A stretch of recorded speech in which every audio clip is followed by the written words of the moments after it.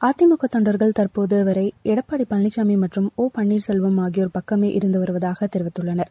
மறைந்த முன்னாள் முதலமைச்சர் ஜெயலலிதாவின் எழுபத்தி மூன்றாவது பிறந்த நாளை முதல்வர் எடப்பாடி பழனிசாமி மற்றும் துணை முதல்வர் பன்னீர்செல்வமும் ஒன்றிணைந்து உற்சாகமாக கொண்டாடினர். அதிமுகவினர் தங்கள் வீடுகளில் தீபமேற்றி உறுதிமொழி எடுக்க வேண்டும் என முதல்வர் எடப்பாடி பழனிசாமியும் துணை முதல்வர் ஓ பன்னீர்செல்வம் வேண்டுகோள் விடுத்ததை அடுத்து தொண்டர்கள் தங்கள் வீடுகளில் தீபமேற்றியும் உறுதிமொழி எடுத்தும் பிறந்த நாளை கொண்டாடினர். முதல்வர் எடப்பாடி பழனிசாமி மற்றும் பன்னீர்செல்வம் தலைமையில் ஓர் அணியாக நிற்பது தேர்தலில் தங்கள் பலத்தை காட்டுவது போல் பிரதிபலிக்கிறது. கட்சி அலுவலகத்தில் எடப்பாடி பழனிசாமியும் ஓ பன்னீர்செல்வமும் கேக் வெட்டி மாறி மாறி ஊட்டிக் கொண்டனர் பொதுமக்களுக்கு நலத்திட்ட உதவிகள் மற்றும் அன்னதானம் வழங்கியும் பிறந்த நாளை சிறப்பித்தனர்.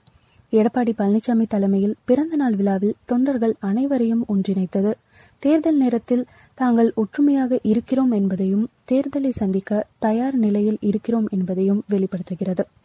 சசிகலாவின் வருகைக்கு பிறகு அமைச்சர்கள் எம்எல்ஏக்கள் நிர்வாகிகளுடனான சந்திப்பு போன்ற எந்த ஒரு அசைவும் அதிமுகவில் சலசலப்பை உருவாக்காது என்று எடப்பாடி பழனிசாமி தலைமையில் திரண்ட அணி உணர்த்துகிறது. அரசியலில் செல்லாக்காசாக இருக்கும் சரத்குமார் சீமான் போன்றோர்கள்தான் சசிகலாவை சந்தித்து பேசினர். இதனால் அதிமுக தொண்டர்கள் அனைவருமே இபிஎஸ் ஓபிஎஸ் பக்கமே இருந்து வருகின்றனர் என்பது குறிப்பிடத்தக்கது.